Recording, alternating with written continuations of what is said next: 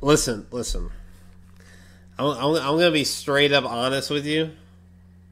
Like, I li- listen to me.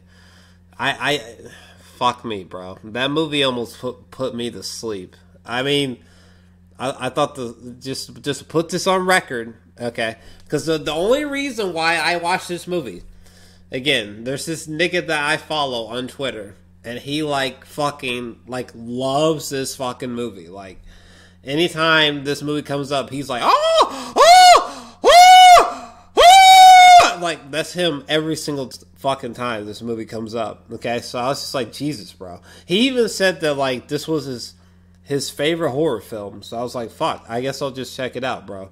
And um, I said this like fucking 18, 24 months ago or some shit like that. I was like, yeah, I'll check it out, bro. I was like, I'll check it out.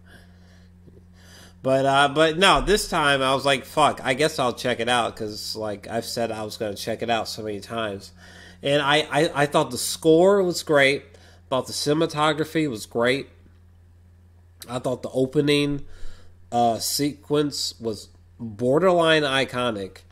Um, literally everything else,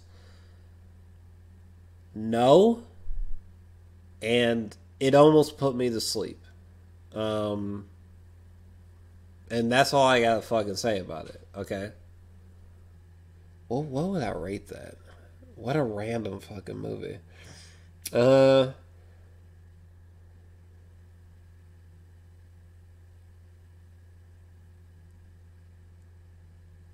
I think I'm gonna give it a six, a six out of ten. I met him 15 years ago. I, I was told there was nothing left. No reason, no uh, conscience, no understanding, and even the most rudimentary sense of life or death, of, good or evil, right or wrong. I met this six year old child with this blank, pale emotion.